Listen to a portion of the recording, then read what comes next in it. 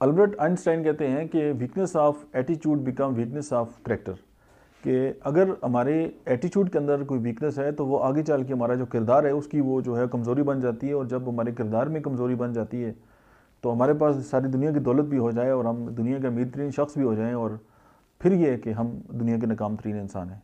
उसकी वजह कि जो इंसान का किरदार है, वही किसी भी इंसान के लिए सबसे बड़ी दौलत होता है। और वो जो इंसान का किरदार है, ज़ाहिर है वो जो किरदार एक पेश कर रहा होता है, वो उसका बिहेवियर है। उसकी बॉडी लैंग्वेज उसकी टोनैलिटी उसकी लैंग्वेज तो उससे पहले जो है, उसका माइंड प्रोसेस है और फिर एटीट्यूड जो है। अब एटीट्यूड जो है, वो कोई ऐसी चीज़ तो नहीं है कि आप किसी को एक कोई प्रोडक्ट हो कि आप नहीं यार ये चीज़ है, बस आप ये पकड़ लें और ये मैंने आपको दे दी।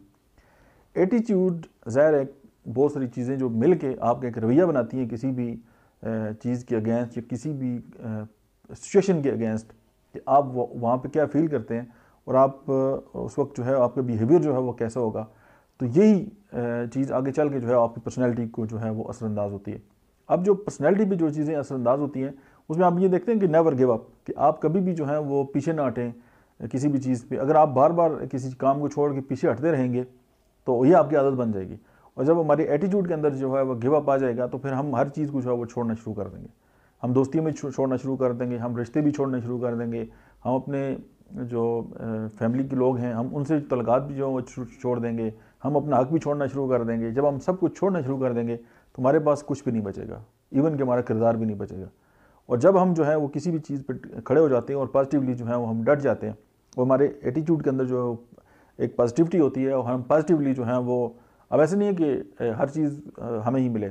एक होती है विन विन पोजीशन अब विन विन पोजीशन जो है कि आपके साथ जो बंदा नेगोशिएट कर रहा है, जो बंदा आपसे बात कर रहा है जो बंदा आपसे कोई मामला कर रहा है, वो भी अपने आप को जीता हुआ समझे और आप भी जीत जाएँ। तो इससे अच्छी बात क्या होगी? और जब ये विन विन पोजीशन आती है तो फिर सबके लिए जो है वो बेहतर होता है। अब ऐसा नहीं है कि किसी एक इंसान के अच्छा होने का मतलब ये है कि वो दूसरा इंसान बुरा है। ऐसा अर्गज़ नहीं हो सकता, क्योंकि दोनों इंसान जो हैं, वो भी अच्छे हो सकते हैं। तो आइंस्टाइन की कोटेशन मैंने पढ़ी तो मैंने कहा आपसे शेयर कर लूँ कि आप अपने किरदार के अंदर चाहते हैं कि पुख्तगी आए और उसके अंदर जो स्ट्रेंथ आए तो उससे पहले ये होगा कि आपको जो है अपने जो एटीट्यूड है उसके अंदर जो है वो स्ट्रेंथ पैदा करनी पड़ेगी।